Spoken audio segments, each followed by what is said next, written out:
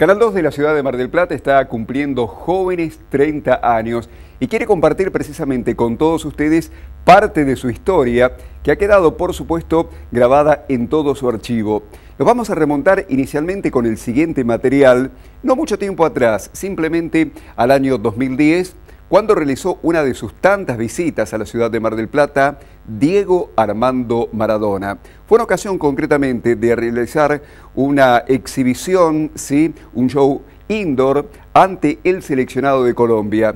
Eso por una parte. Y la otra cuestión eh, nos lleva un poco más allá en el tiempo, al año 1995, en el marco del funeral, concretamente, del sindicalista del SUPE, Sindicato Unido Petroleros del Estado, Diego Ibáñez, concretamente, eh, que eh, se dio concretamente en aquella fecha, en enero más precisamente del año 1995. Ibáñez que fuera amigo personal del expresidente de la República, eh, Carlos Saúl Menem, por aquella oportunidad el propio expresidente de la República había pedido la pena de muerte, algo que trajo mucha polémica para lo ocurrido unos cinco años antes, en 1990, con el secuestro y el asesinato precisamente de Guillermo Ibáñez, el hijo de Diego Ibáñez, en cuyo funeral estuvieron distintas figuras representativas por entonces y particularmente del sector de las denominadas 62 organizaciones peronistas a la cual Ibáñez también pertenecía como Lorenzo Miguel y también la figura del ex ministro de Economía del gobierno de Menem, Herman González. Con ellos entonces eh, dialogó por aquel entonces un equipo de Canal 2 Noticias y junto a la nota de Diego queremos compartir también todo este material. Estamos listos para, para comenzar. Tenemos canales de televisión en vivo, radios diarios. Bien, la Copa Buenos Aires, la provincia de Indoor Show, que va a comenzar mañana. La presencia de, Diego Maradona, que entre otras cosas creo Mar del Plata lo une la última vez levantó una copa con la camiseta de la selección, fue en el 93, cuando Dinamarca, y desde ahí para acá, este Mar del Plata no volvió a jugar al fútbol. Y hoy, 120 minutos, ¿no? Este, nos acompaña también el doctor Cotiñola, vicepresidente de Lotería de la provincia de Buenos Aires, el secretario de Deportes de la provincia, Alejandro Rodríguez. Además está, presentar a Diego. Este, le pedimos a Alejandro Rodríguez como anfitrión en la provincia de Buenos Aires nos dirija las primeras palabras. Buenas tardes. Buenas tardes a todos. Muchas gracias por estar. Eh, nosotros con el gobernador de la provincia tenemos una convicción que es que el deporte es un derecho inalienable de todos los bonaerenses y que como Estado provincial debemos constituirnos en acceso, constituirnos en garantes del acceso al deporte para todos los, los que habitan la provincia de Buenos Aires. Y en tal sentido tenemos diferentes programas y diferentes herramientas que utilizamos para, para conseguir ese fin. Nosotros en tal sentido, lo que hacemos con este tipo de eventos, como es el Indoor Show, eh, es tratar de contribuir a que más gente se acerque al deporte y de darle la posibilidad a la mayor cantidad de gente posible que tenga el acceso a ver figuras destacadas del deporte, del fútbol en particular, y ni hablar de lo que representa Diego para todos nosotros. Así que, sin la intervención de un Estado presente, difícilmente podrían mañana acceder más de mil chicos de los diferentes programas que tiene el gobierno provincial eh, en forma gratuita a ver este espectáculo. Eso es lo que estábamos intentando hacer. Por supuesto que cuando le fuimos con la propuesta a Diego Maradona, él accedió. Tampoco va a ser lo único que haga Diego eh, jugar mañana. Va a haber algunas acciones solidaria junto con el gobernador de la provincia que vamos a hacer juntos, así que estamos muy felices y eso fue una condición que puso Diego para estar aquí. Nosotros accedimos con mucho gusto. Yo quiero darte la bienvenida, Diego, agradecerte enormemente lo que estás haciendo por, por, por todos los habitantes de la provincia de Buenos Aires. Sabido es que Diego nos ha regalado las mayores alegrías de la historia del deporte de la Argentina, es el referente máximo del deporte de la Argentina en el mundo. Y hoy cuando venía para acá reflexionaba acerca de un hecho que lo, que lo pinta mucho más allá de, del gran deportista que ha sido. Eh, este 27 de octubre hemos tenido eh, una pérdida irreparable que fue el fallecimiento de Néstor Kirchner y, y Diego estaba acompañando a la presidenta. Yo en el momento en que lo vi dije seguramente la mayoría del pueblo argentino está acompañando a la presidenta porque nadie interpreta y sintetiza el sentimiento de los argentinos como Maradona. Muchas gracias. Bien, les pido, hay dos señoritas con micrófonos inalámbricos para que escuchemos todas las preguntas de todos los colegas. También veo ahí nos acompaña el director del EMDER, el profesor Federico Maidana. Eh, ahí, primera pregunta. Hola Diego, buenas tardes. Néstor, Primero, acá. un minutito. No, quisiera, quisiera agradecer a, a Daniel y a todos los que, a Diego y a todos los, los muchachos y la gente que, que hizo posible de que nosotros mañana juguemos con, con Colombia. Realmente me siento, me siento muy bien, me siento contento por volver a Mar, a Mar del Plata. Como decía después de aquella final de 120 minutos que no nos entraba aire por ningún lado y ese lado seguía corriendo ese botón. Pero tuvimos la suerte de dejar, de dejar la copa acá en la Argentina. Y, y bueno, eh, así como, como vamos a jugar el partido de mañana, también con Daniel vamos a ir a recorrer escuelitas, vamos a recorrer algún hospital, así que eh, tenemos una agenda bastante cargadita, pero siempre para, para mejorarle la calidad de vida a los chicos. Y, y, si uno puede dar una mano, encantado de la vida. Por eso estamos acá y por eso eh, nos entrenamos, aunque nos vean un poco más viejos y, y, los años pasan para todos. Eh, seguimos con las mismas ganas de siempre y tratando de, de darle a la gente la mejor o la mayor alegría posible. Bueno, ahora sí. Eh, Diego, Néstor de C5N. Eh, Sí. la- iba a hacerte una pregunta que, que estaba relacionada con el partido de mañana, que obviamente te lo voy a hacer. Pero además quería. Se me ocurrió otra, teniendo en cuenta la introducción que ustedes hicieron. Eh, Es un quilombo. Sí. No, no, no. Querías Lo vas a ver hacer- que claro. Querías hacer uno Ahora voy a hacer dos, ahora voy a hacer dos. Dale, dale. Ahora voy a hacer Dale, dos. dale. La primera es del partido de mañana. El partido contra Paraguay de Indoor fue muy bueno, eh, trajo un plantel joven. ¿Cómo esperás el partido de mañana desde lo futbolístico contra Paraguay? Espero, contra espero que no traigan pibes. Espero, espero que no traigan pibes, porque lo, eh, eh, sí, bueno, el pibe Valderrama, pero bueno, ya tiene, ya tiene su edad. Que pasa es que el otro día eh, salía Delgado y entraba, entraba mi sobrino. Eh, brava la historia, ¿viste? Se lo dije a Delgado y al chiquearse después. Le digo, no puede entrar el, el fútbol sal, viejo. Eh, digo, acá es, es un partido de, de- de- de jugadores grandes que, que pasamos por la selección, que la gente quiere ver. Había jugadores que, que, tenían que presentar los documentos para entrar a la casa, ¿viste? No, habían jugado un partido de selección.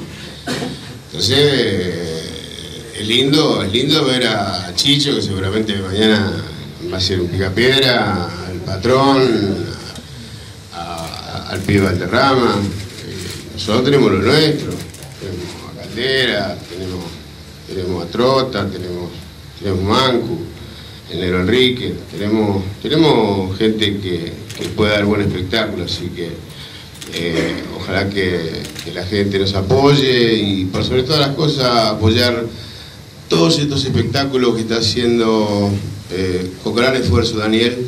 Eh, vimos a, a- Cacho, vimos a Montaner, todos, todos los que todos los que vienen vienen a Mar del Plata y, le dan ese, ese colorido lindo que tiene Mar del Plata y por sobre todas las cosas darle la posibilidad a la gente que no puede pagar una entrada de 200 pesos, ver, ver a un ídolo a un ídolo de cerca, eso es maravilloso y eso, eso es todo mérito de, Daniel y, de toda su gente que, lo apoya, ¿no? Por eso, por eso no queremos quedarnos afuera. Eh, cuando nos dijeron de, de- de hacer este partido, ¿cómo no, ¿cómo no lo vamos a hacer? Mar del Plata hasta que explota, eh, hay más mujeres que la puta. eh, eh, hombre también, ¿no? pero, pero me parece que nos superan 3 a 1, viejo. Eh, pero, pero Mar del Plata está más linda que nunca, de verdad.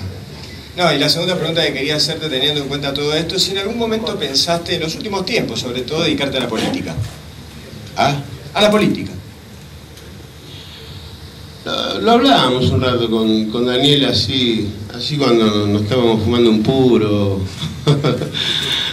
o estábamos en la ñata, a veces hablamos de, política, pero no, no lo pensé, realmente no lo pensé, pero, pero más que nada de, política me gustaría eh, apoyar, apoyar a la gente que, que quiere ayudar a la gente o que quiere ayudar a los chicos.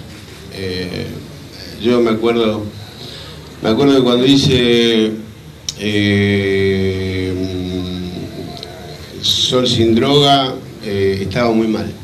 Estaba muy mal yo. Y, lo hice mal. Y hoy que estoy bien, me gustaría, me gustaría poder apoyar a alguien que, que saque a los chicos de la calle, que, les dé alternativas, que, que le dé posibilidades que, no se encuentren más chicos de 13, 14 años con, un, con un, fierro en la mano. Hay un montón de cosas que se pueden hacer eh, y, me gustaría colaborar. Me gustaría colaborar, lo sabe Daniel, lo sabe la presidenta, lo sabe Aníbal, lo saben, lo saben todos. Y yo no es que eh, estoy eh, queriéndome ganar un lugar en el gobierno, no, no, no, no porque yo estuve, estuve en la entrega de los premios de Clarín y estuve con la presidenta cuando fue a firmar el contrato con Grondona. ¿Eh? Yo soy de la gente, yo no soy de nadie más. Sí. Digo, ¿qué tal? ¿Cómo te va? Buenas tardes. Ernesto Gallardo de Mar del Plata. ¿Cómo te va? ¿Qué tal? ¿Cómo te va? Eh, digo, eh, para la gente quizás que quizás no ha podido interpretar esta, esta transición, este cambio de lo que era el show ball y de lo que es el indoor show. ¿Hay alguna diferencia de índole reglamentario, del tamaño de la cancha, de alguna, de alguna cuestión de juego? Sí, sí, esto es, esto es mucho más, mucho más lindo, mucho más grande, mucho más, más divertido. Eh, yo no le quiero caer al Showball porque el Showball a nosotros nos ha dado, nos ha dado, nos ha dado grandes satisfacciones, eh, tuvimos un problemita en el medio, nos tuvimos que abrir, eh, pero, pero las ganas siguen intactas. Eh, lo, que, lo que tiene que eh, acá la pelota se va y podés, podés tomar un poquito de aire. En el showball siempre estabas abajo del agua, estabas en apnea.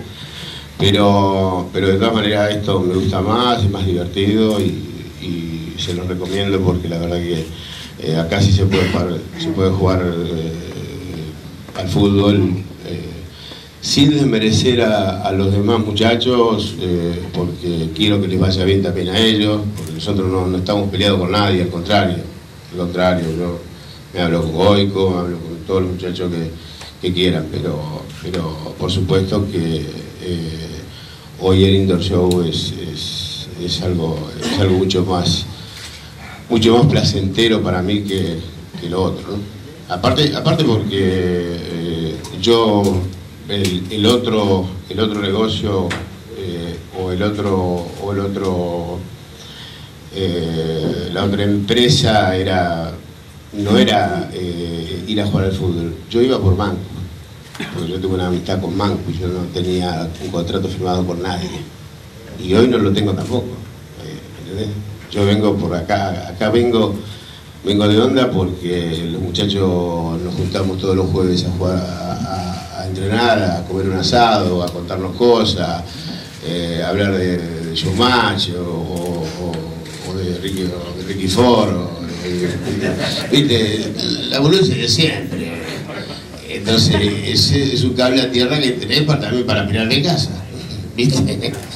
Entonces, entonces es lindo, es lindo y más si, si la gente, si la gente te responde, si la gente le gusta lo que haces y, y encima le das una mano a los chicos, bienvenido sea.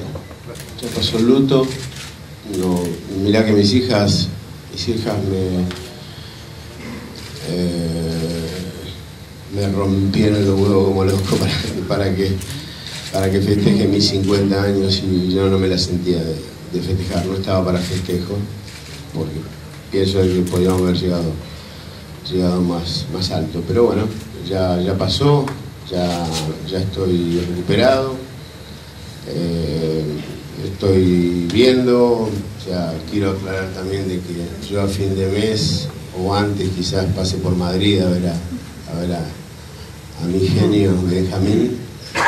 Eh, y después me voy para Inglaterra porque tengo compromisos, pero no, no, voy a hablar con nadie, o sea, no es que tengo un equipo para hablar, eh, y menos, menos se habló del fútbol, el fútbol tiene, tiene un técnico al cual yo respeto y se lo hice saber, eh, yo no soy de esos que van a la, a la, platea esperando de que pierda el equipo para, para, para ponerme yo en el banco, para meterme yo en el banco, no. Yo, esto, estas cosas yo no las hago porque no me gusta que me lo hicieran a mí eh, en algún momento de mi vida. Entonces eh, voy a ir a Inglaterra por compromisos contraídos ya desde hace bastante tiempo. Pero no voy, no voy a, ver ningún equipo. Ya así que, los boludos estos no salgan a desmentir nada porque ya, yo no tengo ni representante, no tengo empresarios amigos, no tengo no tengo quien me dirija mi vida, desde que perdí mi amigo, eh, hoy eh, uno más uno es dos y lo manejo yo, ¿eh? cosa que antes no hacía. Yo derivaba todo, eh, no sabía ni cuánta plata tenía y de un momento a otro pasé de 100 a 0 y tuve que empezar a remar. Y estaba en el Paraná con una tormenta y con, un cajón de manzana. Eh, eh, hoy que sé, lo, que sé lo que tengo, que sé lo que le puedo dar a mis hijas, que sé lo que le puedo dar a Benjamín, ese es mi rumbo. Y lo otro digo es que siempre, vamos siendo técnico, te pusiste del lado del jugador o del pensamiento de la declaración. Quería saber qué pensabas de, del caso Ortega, cómo fue tratado. Siempre voy a, voy a morir siendo jugador de fútbol. Voy a pensar como jugador de fútbol siempre. Me voy a poner la corbata solamente cuando salga con Vero salga con mi vieja, por no decir otra cosa. Pero, pero yo creo que el que se pone la corbata y se olvida del jugador de fútbol, parece que le erra, ¿no? Eh, yo no sé qué presiones tendrá Pasarela y no me quiero meter tampoco en, en, en sus problemas porque sigue River después de Aguilar eh, eh, la pasó muy fea, tuvo muchas deudas. Pero digo que el caso Ortega fue tratado mal humanamente. humanamente. Creo, que, creo que seis meses en River y el burrito despidiéndose con la camiseta de River, con un estadio lleno como se merece él y todos los hinchas de River contentos, me parece que ese era el gran final de la película. Parece que hoy está bien, a Ariel hay que respetarlo porque quiere jugar, pero al Boy no es para Ortega, no porque no tenga, no tenga eh, un nivel para primera, porque al Boy yo lo conozco a todos los muchachos del Boy, son, somos todos del barrio, la calle argentina del Boy nos divide en cinco cuadras, pero me parece que eh, Ortega se merecía, se merecía un respeto mucho más grande por todo lo que dio a River, eh, eh, despidiéndose de la gente en cancha de River. Eh, iríamos todos, hasta, los hinchas de, Boca, ¿no? hay problema, si, si lo dejan entrar, ¿no? Siempre, quilombo. Pero, pero creo, que, creo que se manoseó mucho el tema, yo lo siento mucho por, por la decisión que han tomado. Porque a López también lo conozco yo. A López lo conozco y lo, lo sé un gran tipo. Sé un gran tipo y bueno, pero también te quiero, te quiero decir que lo que pasó con Capa ya te daba el, el, el, eh, te daba como, como, como, un indicio como para, para, para, para esta decisión que, que tomaron con Ortega. Sí. Diego Juan Pablo Mozo, un placer aquí. Eh, en varios medios, sobre todo radiales, en el día de hoy, varios, varias personas del rubro de los chacareros, como denominaste a pasarela, se mostraban como molestos con tus declaraciones. Quizás sea una buena oportunidad para aclararlo el porqué de chacarero. No, el chacarero, porque el chacarero le decíamos chacarero a pasarela cuando, cuando estaba, porque él es de, Chacabuco. Claro.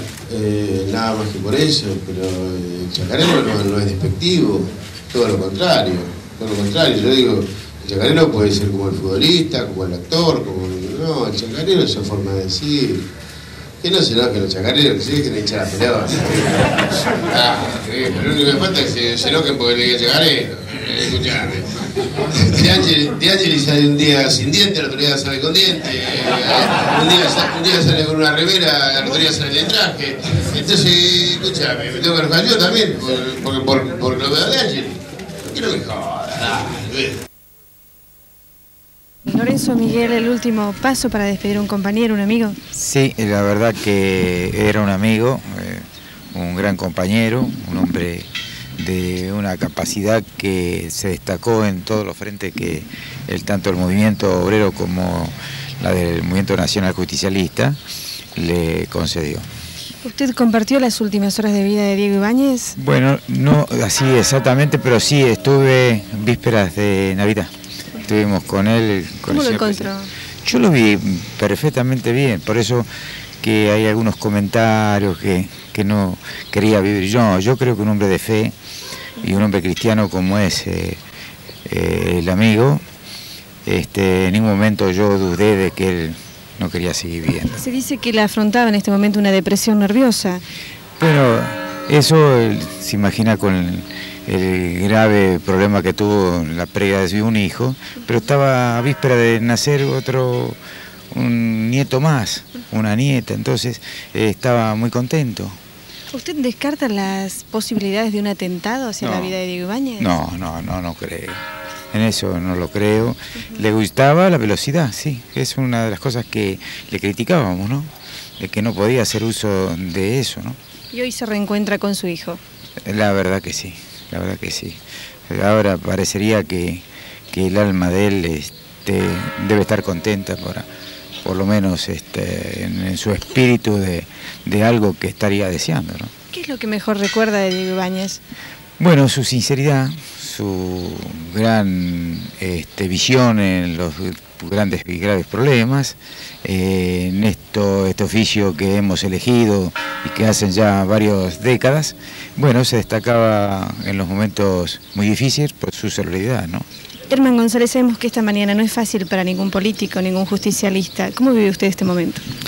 Bueno, con una profunda consternación por tratarse de un hombre que ha escrito una página en la historia del sindicalismo argentino, al lado siempre de los trabajadores en defensa de sus intereses y su posición pero al mismo tiempo desde su propia doctrina justicialista, desde sus propias convicciones justicialistas, acompañar a este proceso de modernización, de actualización que necesitaba el país para salir de su atraso, para emprender definitivamente este camino del crecimiento, este camino de la inserción en la comunidad internacional. ¿Cómo era el carácter de Diego Ibáñez?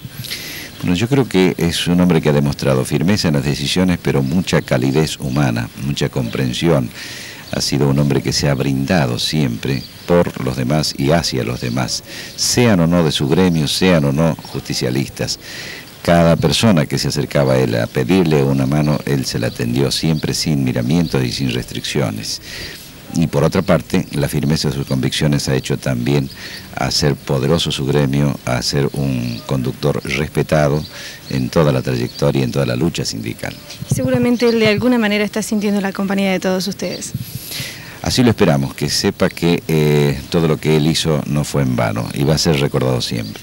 Señor Curto, un momento muy difícil para todos los peronistas, los justicialistas, los sindicalistas. Sí, es un momento difícil, un momento de mucha pena, de mucha tristeza, de venir y poder encontrar a un amigo que fue, como lo dijo Lorenzo, un gran amigo, un hombre solidario, un hombre de una gran lealtad, un hombre de una gran capacidad, y bueno, que haya perdido la vida eh, en las circunstancias como la perdió, que duele mucho más. ¿no? ¿Cómo era Diego Ibáñez? ¿Era una persona alegre, optimista o depresiva? No, no, eh, Diego tuvo después de la muerte del hijo cambió fundamentalmente su temperamento, pero fue siempre una persona optimista, una persona de fe, una persona alegría, de alegre. Yo me recuerdo, yo era uno de los que lo iba a ver a la cárcel cuando estaban detenidos con Lorenzo, a Madalena, que les llevaba la de comer y siempre contento. Estaban ellos adentro más contentos que nosotros que estábamos afuera. era un hombre de fe, de mucha esperanza. Este es el momento en que familiares y amigos de Diego Ibáñez han culminado la misa en la Sagrada Familia, aquí, la parroquia del puerto, y transportan el féretro que será trasladado al cementerio. Un momento de muchísimo, muchísimo dolor, congoja en todos los familiares y lo irreparable.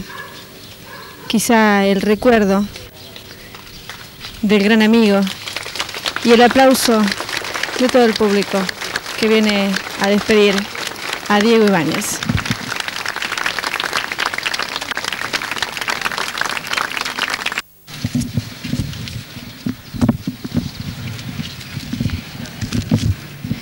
En el cementerio Jardín Privado Colinas de Paz serán depositados los restos de Diego Ibáñez. El último adiós el recuerdo que quedará sellado por siempre. Aquí descansará Diego Ibáñez.